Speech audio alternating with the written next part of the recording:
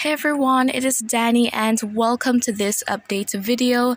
I hope that you're all having a really great Monday thus far. And so of course in this video we'll be taking a look at the latest for the Caribbean and also that expected Gulf low pressure area. And so before I go into details, please do subscribe and tap the notification bell so that you never miss an important update.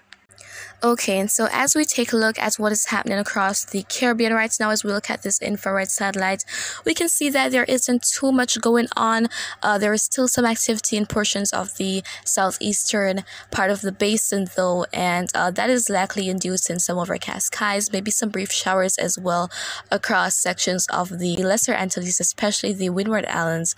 And as for the Greater Antilles, we're seeing here that there is some activity in the area inducing inclement weather across sections of Cuba, maybe even parts of the Bahamas. And as for Jamaica, uh, things are clearing up, but last evening there was definitely some rainfall across sections of the island. But as for the rest of the uh, region here, we can see that there isn't too much happening. Beautiful sunshine this morning for Puerto Rico, the Virgin Islands, most of the Leeward Islands, and even for portions of the Western Caribbean, those Central American territories. And so in terms of the rainfall activity as we head throughout this week, let's go ahead and take a look at those maps. And we're starting out with the Euro here. So we'll be looking at the Euro and GFS.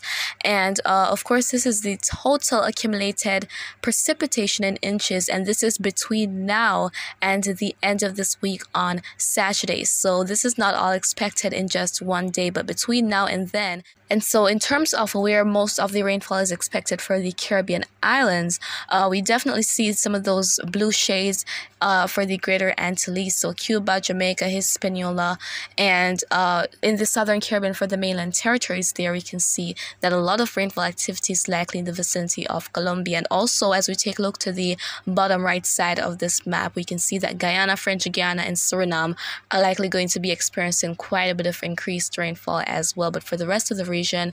Nothing major expected. But if you look at the Gulf of Mexico right there, there we can see some of those purple shades. And that is likely the rainfall induced by that low pressure area that is expected to develop as we head into tomorrow. And uh, it is likely to move inland as we head into around Thursday. So we'll be looking at that very shortly. But as for the GFS uh, between now and Saturday, here we have the model showing something maybe a little bit similar, but uh, it is showing a lot of that rainfall activity being offshore of the uh, Gulf Coast states in association with that expected low pressure area.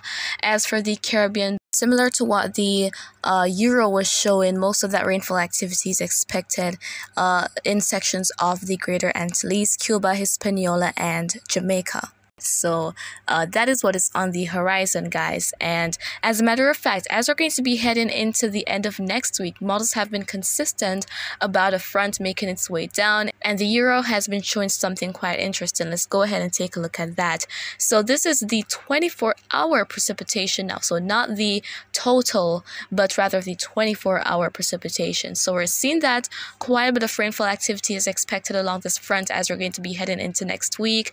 And it's really the northwestern Caribbean that is likely to feel impacts from this as it makes its way toward the southeast. However, the GFS is not showing that much rainfall activity be uh, expected for the northwestern Caribbean, so we really just have to wait and see. But of course, as time goes by, I'm going to be keeping you updated. However, let's go ahead and talk about that low pressure area that is expected. So we'll be looking at the latest model run for again the GFS and the Euro, starting out with the Euro model, and we can see that the model is is not expecting a strong system, and as a matter of fact, it is showing most of that activity remaining north of the center of it. Now, uh, conditions are not highly conducive at this time of year for us to see any major development in terms of tropical cyclone activity, and uh, the National Hurricane Center still has not highlighted an area to watch, an area of interest. However, uh, if they're going to, it's likely going to be maybe tomorrow or even later today. So I'll be keeping you guys updated on that. As for the GFS model, we're seeing that it is also not expecting anything major from this, but that rainfall activity could trigger some flash flooding. So even though we might not be looking at a defined system that receives a name, if it doesn't become Arlene, uh, it could still induce quite a bit of rainfall activity that would trigger flooding, guys, especially in low-lying areas. If you're along the Gulf Coast, please take the necessary precautions as you progress throughout the rest of this week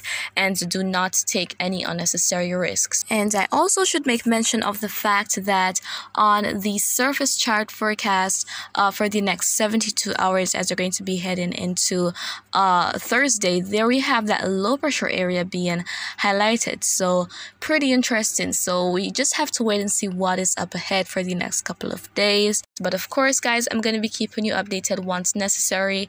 And that is pretty much it for right now. So if you have any questions, feel free to leave them down in the comments and you can also share your thoughts there. And of course, remember to always be weatherwise.